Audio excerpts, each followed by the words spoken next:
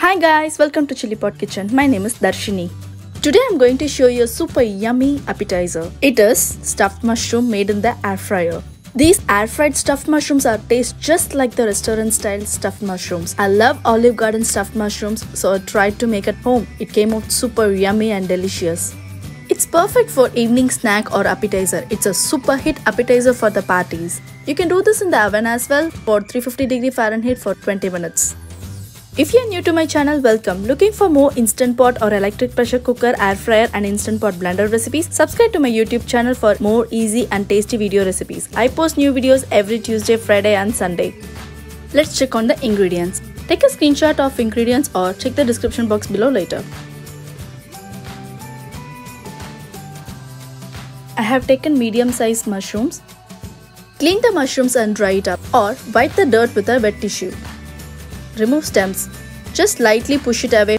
Comes down right from the base. Scoop the inside part of the mushroom like this. Use a small spoon to do it. Nothing is going to be waste in this mushroom. Roughly chop the stems.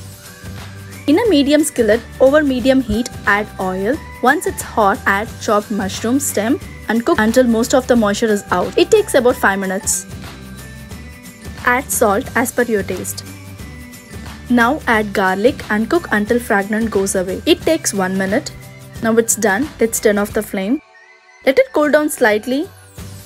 Then add cream cheese and mix it thoroughly. Make sure that the cream should be in the room temperature. Now add onion powder, pepper, cayenne pepper and parmesan cheese. I'm saving some cheese for later use. Give it a quick mix. If you want you can add herbs now. Adjust the spice level according to your taste. The filling is ready. Fill mushroom caps with filling. The time may vary depends on the size of the mushroom. Just air fry or bake it until mushrooms are soft and piping hot. For small size mushrooms it takes 6 minutes, for medium size it takes 8 minutes and for the large mushrooms it takes 10 minutes. Sprinkle some breadcrumbs and more parmesan on top. In an air fryer, set the temperature for 400 degree Fahrenheit and time for 8 minutes. Preheat it for a couple of minutes. Swap the trays in between.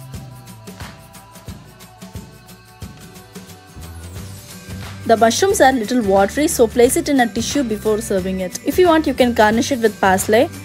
Wow, look at this super yummy and cheesy stuffed mushroom in an air fryer is ready to be served. Thanks for watching my video. If you like the video, give a thumbs up. Do try this recipe at your home and give me a feedback in the comment section below. If you are new to my channel, please subscribe and click the notification bell icon to get update on my new videos. If you have any questions or feedback, write it in the comment section below. I will respond to it as soon as possible. And see you guys in the next video. Bye!